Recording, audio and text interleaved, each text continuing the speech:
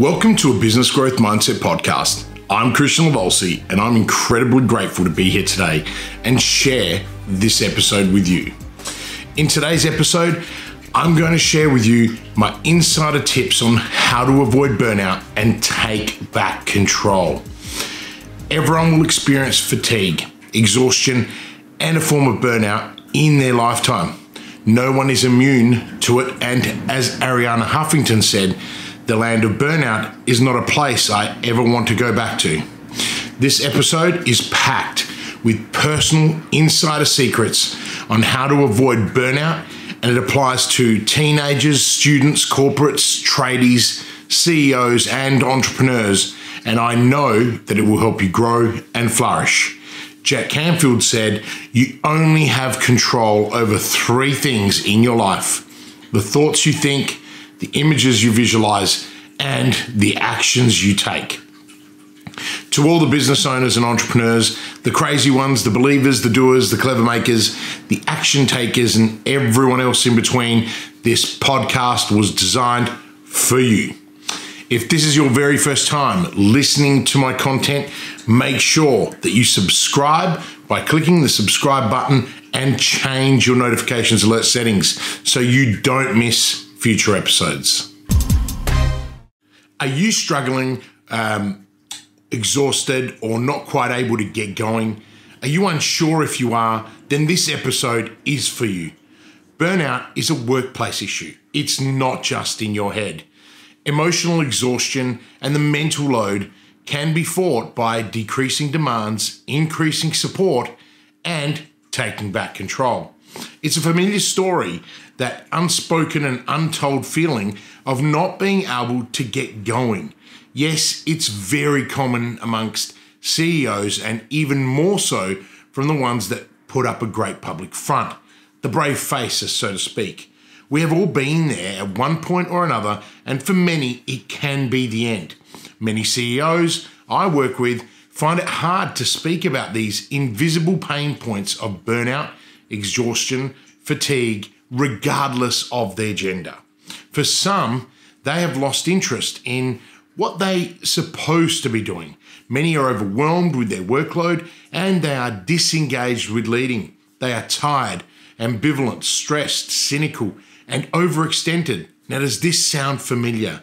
Studies have shown that 54% of CEOs have reported being exhausted. That's more than half. So, if this is you, you're not alone.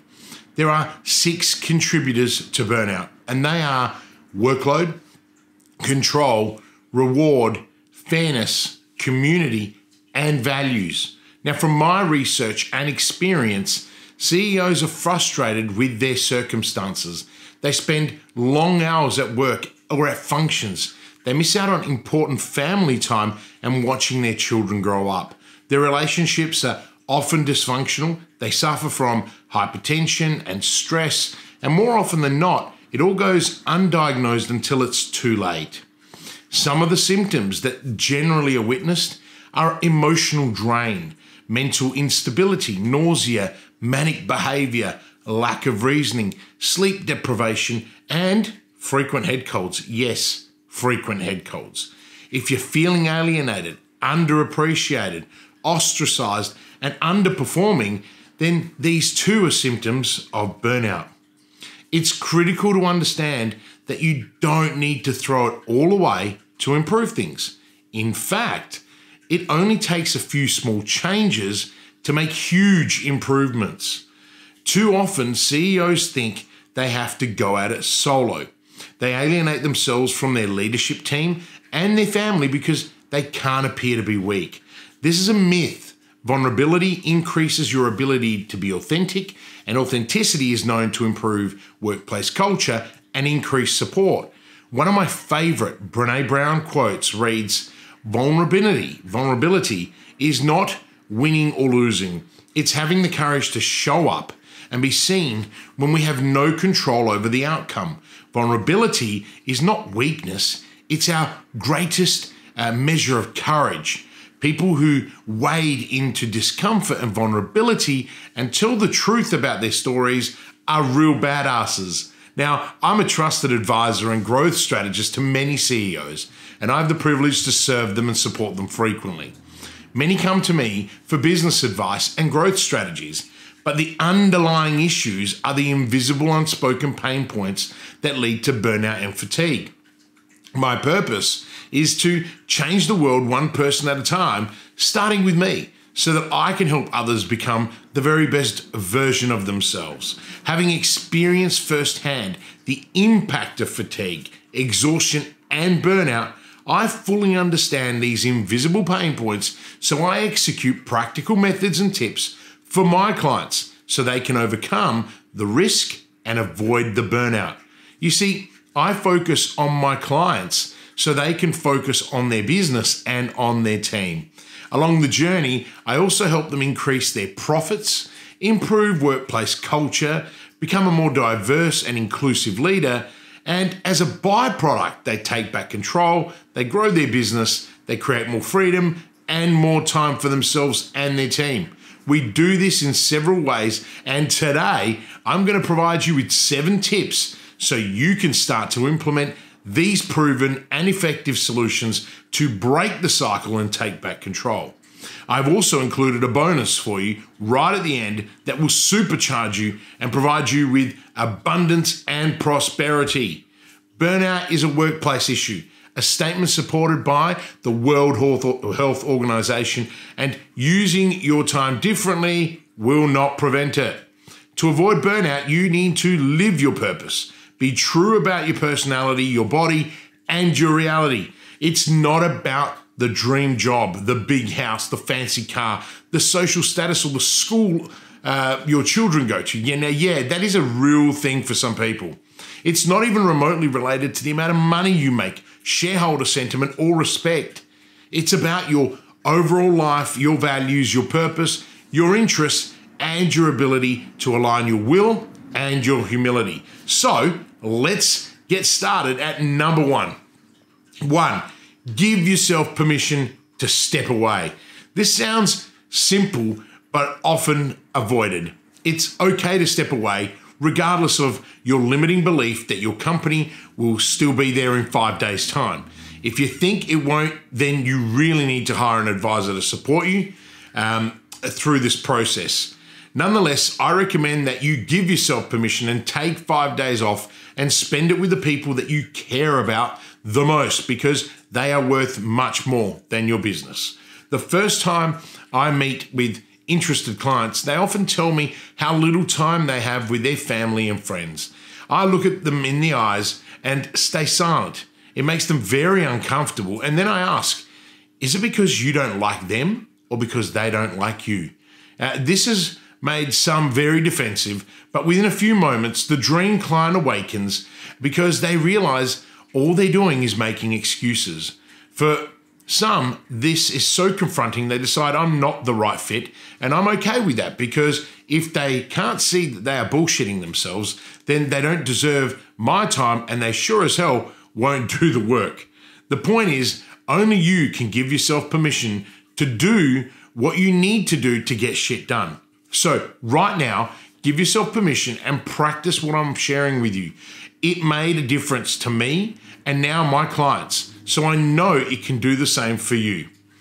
Two, find your purpose. Mark Twain said, the most the, the two most important days in your life are the day that you are born and the day you find out why. The importance of a clearly defined purpose is widely acknowledged. However, it is not always easy to clearly define what your purpose is. Now, the first and most basic point to understand is exactly what is meant by purpose. You may have heard it referred to as your why, which is great, but it poses the same question. What is your why? Essentially, this is it's your reason for doing or creating something. Your why is what gives you a sense of determination. It's what gets you motivated and keeps you motivated. Your purpose, the reason why you do something, is what makes you outcome driven. Uncovering your purpose means you are able to take action and you are able to take action because when you know what your purpose is, you understand the meaning behind everything, everything that you do. Understanding your purpose matters because it is the answer to taking back control, especially when you are faced with times in your life when you lose your way. But when you are lost and you have purpose, you can always find your direction again. To learn more about finding your purpose, check out episode 12 of my podcast where I dive deeply into the process. Number three, your body. Give your body what it needs. Now, that's easier said than done, but there will come a time when your body will give up on you. For some, it's as simple as weight gain, and for others, it can be result it can result in stress-related illness or worse. There are three universal things that you can do to facilitate restoration, and they are moving, eating, and sleeping. Now, movement is critical to your long term survival. Um, notice I didn't say exercise because this is normally associated with pain. The key is movement and regular movement. This allows your body and mind to recalibrate and align. Improving your mental health requires about 20 to 30 minutes of continuous movement. But as little as five minutes of outdoor movement can have a meaningful impact on your psychology. Movement also helps remove negative energy from the body, and this helps lighten the load. What you eat is important, and this applies to food and drink. Many CEOs are known to overeat and consume excess alcohol. What you put in your mouth will impact your mood and your energy. I have battled with food and drink my entire life, and as a result, my weight has fluctuated significantly. What I have discovered is to avoid foods that make me feel tired and too full. For example, carbohydrates and sugars do me do me more harm than good, so I avoid them. I drink alcohol only a few times a week so that I maintain clarity and sleep better too. So assess what you are eating and drinking and how it makes you feel, then make the necessary changes to avoid the negative impact on your mood. Now, more recently, to combat my weight, I've practiced several forms of fasting and I finally uncovered one that works and that I can maintain. This is different for everyone, and please consult your clinician before take, taking on or tackling fasting.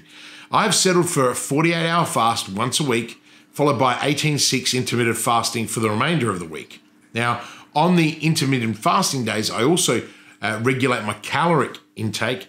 Uh, this process allows me the flexibility to still indulge in a long lunch once a week date night with Lucy, and a weekend activity with friends. So we have covered movement and eating, so let's talk sleep. Improving sleep quality is the simplest way to reduce fatigue, uh, regulating your mood, and clearing your brain. It's also it also helps in re-engineering your cells, which is fundamental to avoiding burnout, let alone overcoming one. Now, getting the right amount of sleep differs from person to person, and it can range between six and 10 hours depending on your needs. The key is to reach the point where you feel alert for most of the day. Now, for me, the ideal time frame is six hours, but I can perform with less if required. Number four, your reality. What you can actually change and the sources uh, to meet your needs are critical to preventing burnout. Your circumstances around workload and the mental load play a significant role in burnout. If you are unsupported, unappreciated, and feel unsafe, then this too causes exhaustion and fatigue, which can lead to burnout. If this is your reality, then you must decide to remove yourself from those circumstances or modify your expectations. You could stop expecting satisfaction and reward in your workplace and replace it with external interests and hobbies that supplement this need. Um, the key to avoiding uh, the mental and physical drain on you is to invest time in things outside of your work environment and surround yourself with people that support you and invest in you. This is um, where a mentor, advisor, or coach can play a significant role in your well-being. Uh, some simple things that you can do to regulate your reality is to breathe, have breaks, and practice mindfulness. So, breathing is critical and, and very empowering. We rely on oxygen to survive, and our cells and organs depend on it. Doing intensive breathing exercises has many uh, benefits, and I recommend the Wim Hof breathing app for guided breathing. It's free and it only takes 10 minutes. I find it rewarding and enjoyable, and it's one of the best tools in my toolbox. Uh, breaks. Take five minutes for every 20 minutes of focus work. Stretch your legs and get out of your environment. This will make you more productive and help you retain more information. Practice mindfulness daily, as this will help you manage your emotions and give you clarity, especially during a crisis. Mindfulness is a practice and driven by three components intention, attention, and attitude. When you practice mindfulness, your thoughts tune into what you are sensing in the present rather than rehashing the past or even exploring the future. Number five, reduce demands. Uh, this is about structural change. And by this, I mean decreasing your load. Start by reviewing your role, the tasks you must perform, and the outcomes you need to achieve. Once you have the exhaustive list, Determine what you must keep. Delegate, uh, keep, delegate, or delete. Once you've done this process, you can systematize and automate, and this will reduce your demands. Too many CEOs get caught up with the ideology that more is better and more is your duty. Wrong. In fact, less is more because as a CEO, it's about strategy and leadership. And for this, you need less tasks and more thinking time. It's also important to note that reducing demands increases control. In addition to reducing demands, a good evidence based technique that will help you increase control by helping you regulate emotions, particularly when you are feeling overwhelmed, is reappraisal and distraction. Rather than being overwhelmed, reframe your challenge into an opportunity and refocus. A good example is a new CEO who is feeling daunted by the challenge of delivering a pitch might reframe it as an opportunity to build a new skill. Number six, get help and increase support. This can be in the form of hiring a business advisor, a coach, a mentor, or a clinician. Depending on how far down the burnout track you've come, you cannot expect to do this alone. Many top performing CEOs attribute their success to their advisors, coaches, and mentors. It's not a secret. How many world champion athletes in uh, the world have coaches? From Olympic athletes to political leaders, the best of the best have a coach. So, why should business leaders any different? Make sure you find someone who has been there, understands the journey, has failed, and succeeded. Business as usual is hard enough for most business owners. You need to find someone who has captained the ship uh, through the storms before. This will give you uh, the very best chance to thrive rather than just survive. Serial entrepreneurs are amongst the very best advisors because they have sailed the ship into many storms. They've put themselves under enormous pressure and have built remarkable resilience. For many CEOs, this is where you will fail. They will not seek out help. They will try to steer their ship on their own. And you, you are not born to do this on your own. Consider your individual situation by reviewing the implications such as finances, your team, your family, your emotion, and your customers. This is about clarity and direction and support. Give yourself the very best opportunity possible to navigate away from the risk and back into control by having a sounding board and a fresh set of eyes. If it's a financial constraint, join a mastermind group. They start from as little as $1,000 a month. This peer to peer mentoring has many advantages beyond a low entry cost. It allows you to engage with other CEOs who share similar experiences, and this helps you build human connections. Number seven, human connection. Human connection matters more than ever because we live in a fast paced digital age where Everyone is busy and we ignore what makes us human, and that is other humans. People are becoming so disconnected with reality, and we are being fed with lots of bad and negative news. Just look at all the new channels, the propaganda, and the fake news. It's all over your devices. Yes, that bloody smartphone, desktop, and laptop are causing irreversible damage to your mind. People influence people, so be careful whose content you are consuming. In fact, um, well, in the same token, you become like the top five people that you hang around with. Now, I'm not sure who said that, but it's true. Therefore, choose your human connections wisely and flourish. By having a tight knit circle of trust who share the same ambitions and values, it helps you connect to your purpose and helps you grow as an individual and your business. So, for CEOs, get back to basics and reconnect with your key stakeholders. This may be your leadership team, shareholders, suppliers, and key customers on a human level. Pick up the phone and say hi. Don't try and give them a new shiny task, promote your bottom line, or sell them something. Instead, engage in a meaningful conversation. Why? Because your stakeholders are your fuel, and most humans feel isolated, unloved, lonely, and alienated because the world is increasingly driven by technology and tasks. This will help you get to know your stakeholders better and it will help you evolve your products and your services offering which will which should lead to business growth through better understanding of your stakeholder needs and wants. Above all, it has the possibility to invigorate your why and get you out of that I can't get going stage. It gives you purpose and drives action, which often creates positive vibes that help you feel accomplished, combating the pains of exhaustion, fatigue, and early burnout. So we've almost come to the end, but I have left the best to last because this is about future proofing you from burnout. The bonus is to establish growth mindset principles. Growth mindset principles will help you develop a fresh and more positive outlook on life. Now, I won't take you through these now because this is the part where you help yourself. I want you to go to my article on entrepreneur.com. That was one of the top five rated articles in the world. Yes, in the world.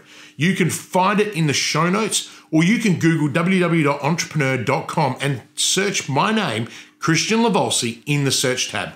In this article, I provide you with 10 steps to achieve a growth mindset in business and in your life. And I know this will serve you because it has served millions of readers, my clients, and I. These insider secrets will help you avoid exhaustion and fatigue, which will reduce your risk of burnout. It will help your self confidence, it will help you take back control and increase your self awareness. These factors will help you empower others and get them into action. More importantly, you'll become more fulfilled because when you are taking action every day on the things that matter, you will immediately reduce your load and feel accomplished. Despite the challenges and disruptions that we uh, face, with today, we are blessed with an abundance of opportunity, and by developing a growth mindset, those opportunities will become more apparent, and you will give yourself the best opportunity to grow and flourish. I have really loved hanging out with you today and sharing my tips that will help avoid burnout and give you back control. I hope you implement these tips that I have shared with you today and you can put them into practice immediately. Please don't wait.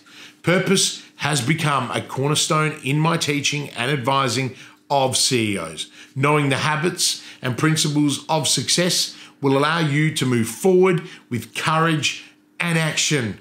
Building courage is a key instrument in accelerating my clients' growth and deepening their impact both professionally and personally. I want this for you, and this is why I share my knowledge and experience with you each and every week. If you loved today's episode and are enjoying the series, please take a minute to rate it and provide a review. This helps others know that the content I'm sharing is valuable, but also inspires me to share more content with you. Please take care during this time, be kind and be courageous, and until next week, live with purpose.